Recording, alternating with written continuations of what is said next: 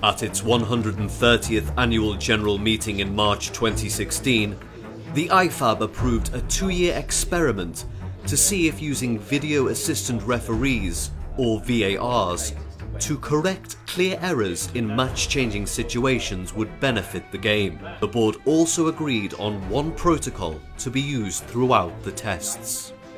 It was a historic day for IFAB and for FIFA with uh, crucial decisions, very important decisions being taken for the game with uh, the testing experimental phase for the video uh, assistance refereeing.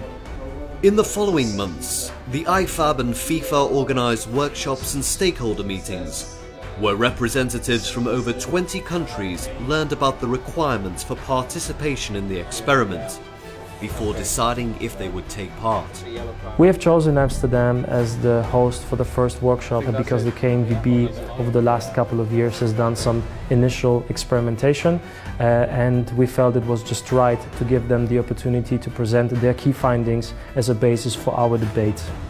The second workshop was held in New York in July and focused on educating referees and VARs on the most important elements for the success of the experiment.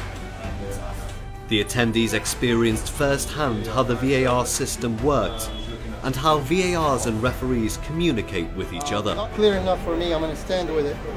I think the participants will leave this workshop with a very good idea of what needs to be done in the referee education, the challenges that lie ahead, but also the way in which they can educate their referees, get the systems working, get their protocols established so that the communication can be as efficient and accurate as possible. The meticulous education of the referees continued. A VAR training centre was established at the home of FIFA in Zurich in August, allowing FIFA to train match officials for their tournaments. As well as offering others a hands-on opportunity to see and experience just how VARs work.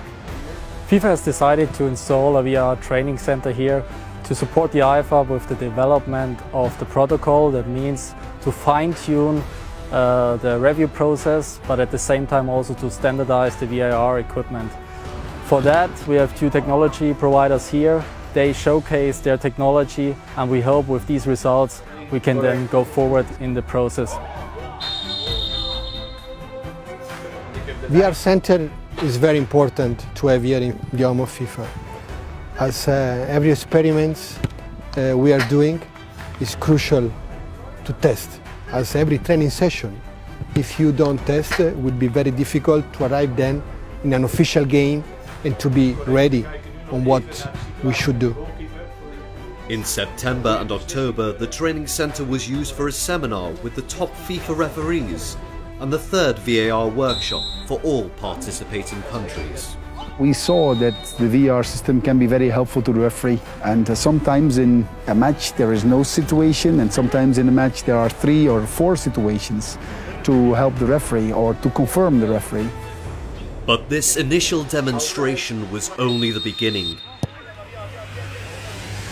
Shifting from theory into practice, a series of more than 20 matches was organised under the supervision of the IFAB and FIFA.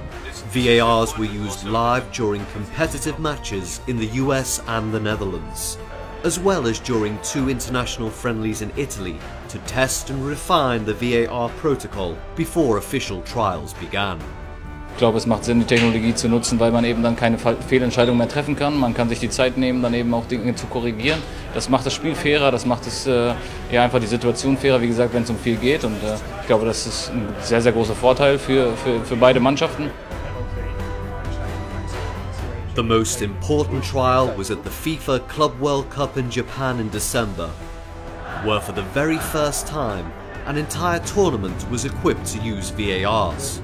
Not only were some of the world's best referees able to experience the system firsthand, but FIFA's Football Technology Innovation Department was also able to analyse just how the best technological setup should look like in football.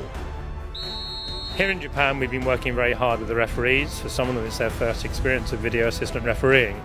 We've worked with them with on-field exercises, using clips, and in the communication between the referee and the video assistant referees.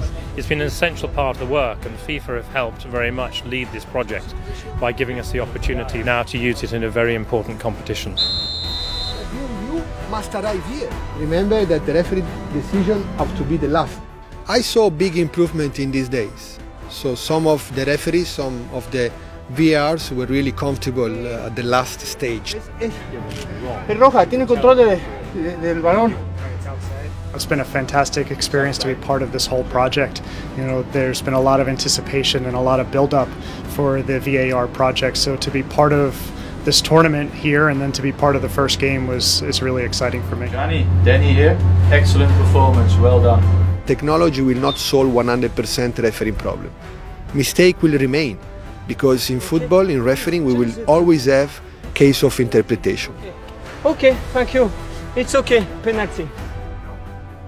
The IFAB will decide in 2018 or 2019 how well the experiments have gone and whether this is something that we should incorporate into football.